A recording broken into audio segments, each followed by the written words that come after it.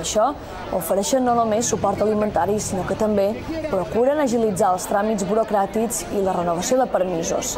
Prop de 50.000 africans resideixen a les illes i la federació pretén ser un pont entre ells i els diferents administradors. Gente puede directamente dirigirse a la federación y luego pues contan su problema y nosotros pues eh, directamente pues somos el mediante entre el inmigrante africano y el, o sea, el, bueno, el, el gobierno. I avui vespre el programa Cròniques de Televisió de Mallorca analitza el debat sobre quin ha de ser el model lingüístic de les illes.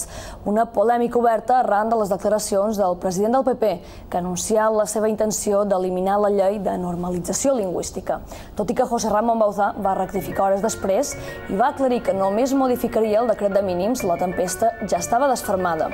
Sota aquesta premissa, l'equip de Cròniques recull el testimoni de polítics, agents socials i personatges del món de la cultura per analitzar les diferents posicions al voltant de la llengua catalana. Tempesta lingüística s'emet avui vespre a partir de les 10 i 10.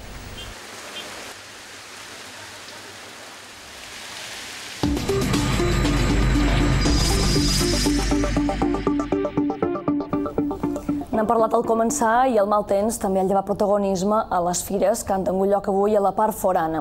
La mostra de barques i motor d'ocasió d'Artà s'ha hagut de suspendre a causa de la pluja. Vinicilem, en canvi, han tingut més sort i s'ha pogut celebrar sense problemes la tercera fira d'estocs i tapes. Tot i els ruixats que han caigut a primera hora, moltes persones s'han animat a sortir a passejar pels carrers de Porreres per gaudir de la fira. Encara que la pluja ha fet acte de presència,